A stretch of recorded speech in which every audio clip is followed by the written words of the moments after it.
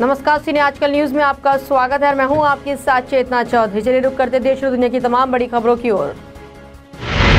अरविंद केजरीवाल के खिलाफ आरोप लगाने वाले कपिल मिश्रांचन पर बैठ गए। कपिल की मांग है कि आप नेताओं के विदेश दौरे की फंडिंग का सोर्स बताया जाए। कपिल के मुताबिक केजरीवाल सरकार संजय सिंह, आशीष खेतान, सत्येंद्र जैन, राघव चड्ढा और दुर्गेश पाठक की फॉरेन ट्रिप की जानकारी सार्वजनिक की जाए।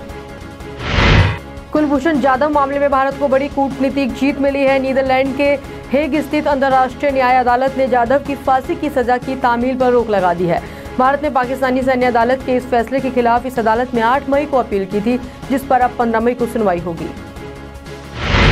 बहुजन समाजवादी पार्टी ने बड़ा फैसला किया है। पार्टी के गद्दावर नेता और सबसे बड़े मुस्लिम चेहरे नसीमुद्दीन सिद्दीकी को पार्टी से निष्कासित कर दिया गया है। साथ ही उनके बेटे अफजल सिद्दीकी को भी निष्कासित किया गया है। दोनों पर पार्टी के खिलाफ काम करने का आरोप लगाया है। साउथ कश्मीर के शोपिया में इंडियन आर्मी के एक लेफ्टिनेंट की बॉडी मिली है। शव की पहचान लेफ्टिनेंट उमर फयाज के रूप में हुई है।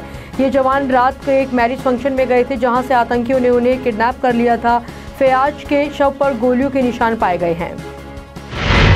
दिल्ली के विज्ञान भवन में हुए कार्यक्रम में बोलते हुए प्रधानमंत्री नरेंद्र मोदी ने कहा कि जज छुट्टियाँ कम करके काम कर रहे हैं, इसके लिए मैं आभार व्यक्त करता हूँ। सुप्रीम कोर्ट के इस कार्यक्रम में पीएम ने कहा कि आज से इंटरनेट के ज़रिए अपील दायर होगी। सहारनपुर के शबीरपुर में दलित ठाकुर संघर्ष के विरोध में सहारनपुर जल उठा। दलितों ने शहर में जगह जगह जमकर उपद्रव किया। आगजनी की ओर पथराव करते हुए पुलिस को दौड़ा लिया। सहारनपुर में हुई इस हिंसा पर सीएम योगी आदित्यनाथ ने कड़ा एक्शन लेते हुए डीजीपी सुरखान सिंह और प्रमुख गृह सचिव देवाशीष पांडा से जवाब तलब किया। बिहार में शराबबंदी के बावजूद बिक रही शराब पर जब सीएम इंडिया ने ज़िले के बिहिया थाना क्षेत्र में जायजा लिया तो माजरा कुछ और ही निकला, जिसको लेकर सीएम इंडिया पर चली खबर पर तत्काल कार्रवाई करते हुए बिहिया थाना क्षेत्र में भोजपुर पुलिस ने छापेमारी अभियान चलाया और एक बड़ी सफलता हासिल करते हुए शराब के नशे की हालत में नौ लोगों को गिरफ़्तार किया है। भोजपुर ज़िले में अनिश्चितकालीन धरने पर बैठे गृह रक्षकों ने सरकार और प्रशासन को चेतावनी देते हुए कहा है कि समान काम के लिए समान वेतन के आदेश को सरकार तुरंत लागू करे, अन्यथा हम अपना आंदोलन जारी रखेंगे। भोजपुर में घूस नहीं देने पर एक शख्स को प्रताड़ित करने का मामला सामने आया। है बता दें कि ट्रेजरी विभाग में पिछले आठ दिनों से अपने और अपने नौ साथियों के दो महीने के बकाया वेतन के लिए दौड़ लगा रहे मैनेजर रामेश्वर प्रसाद गर्मी में भागदौड़ की वजह से बेहोश होकर कचहरी के पास गिर पड़े। उन्हें बेहोशी की हालत में कुछ राहगीरों ने उठाकर प्राइवेट क्लिनिक में ले जाकर भर्ती कराया। हर साल की तरह 8 मई को विश्व रेड क्रॉस दिवस के अवसर पर आरा रेड क्रॉस भवन में एक कार्यक्रम का आयोजन किया गया। इस कार्यक्रम से पहले रमना मैदान में रक्तदान करने के लिए एक रैली निकाली गई, जिसमें स्कूली छात्रों ने बढ़ चढ़कर हिस्सा लिया। वहीं रेड क्रॉस दिवस के अवसर पर स्थानीय संभावना आवासीय विद्यालय शुभ नारायण नगर, मझोवा।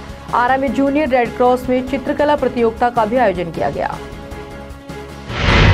भोजपुर के पीरो थाना क्षेत्र में बदमाशों ने एक सैनिटरिंग ठेकेदार की गोली मारकर हत्या कर दी। अपराधियों ने हत्या करने के बाद ठेकेदार के शव को रेलवे ट्रैक पर फेंक दिया और फरार हो गए। सूचना मिलने के बाद मौके पर पहुँची पुलिस ने शव को कब्जे में लेकर पोस्टमार्टम के लिए आरा सदर अस्पताल भेज दिया। भोजपुर के मुफस्सिल थाना क्षेत्र के जमीरा गाँव के पास शौच के दौरान गाड़ी से धक्का लगने से एक वृद्ध परमेश्वर जख्मी हो गया, जिसे स्थानीय लोगों के सहयोग से इलाज के लिए आरा सदर अस्पताल में भर्ती कराया गया।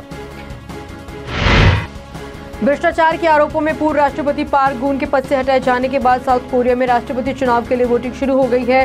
चुनाव में डेमोक्रेटिक पार्टी ऑफ़ कोरिया के उम्मीदवार और उदारवादी विचारधारा के मून जे इनको मध्य मार्गी विचारधारा के आन चलसू से कड़ी टक्कर मिलने की उम्मीद है।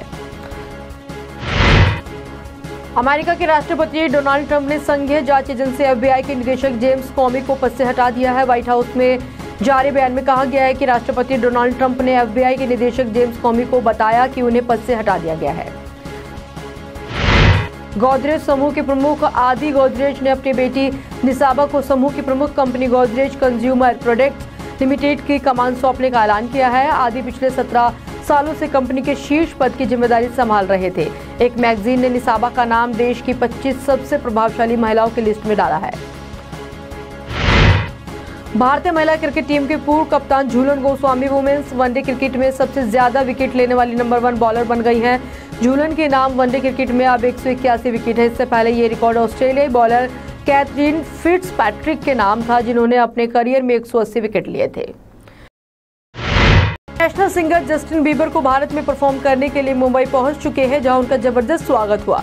बीबर की सुरक्षा में सलमान खान के बॉडीगार्ड शेरा दिखे। बीबर के लिए सुरक्षा से लेकर मैनेजमेंट तक खास इंतज़ाम किए गए। वहीं बीबर भारत में परफॉर्म देने के लिए काफ़ी रोमांचित हैं। साथ बड़ी खबरों में फ़िलहाल इतना ही। देश दुनिया की ताज़ा तरीन खबरें देखने के लिए आप देखते रहिए सिने आजकल न्यूज़। नमस्कार।